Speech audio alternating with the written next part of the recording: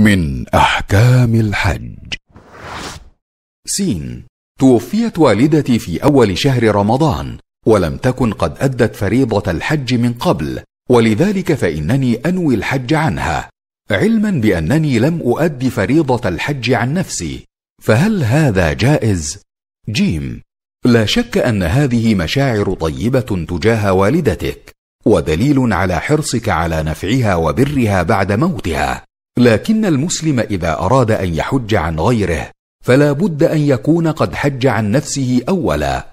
والدليل على ذلك حديث ابن عباس رضي الله عنهما أن النبي صلى الله عليه وسلم سمع رجلا يقول لبيك عن شبرمة قال من شبرمة؟ قال أخ لي أو قريب لي قال حججت عن نفسك قال لا قال حج عن نفسك ثم حج عن شبرمة.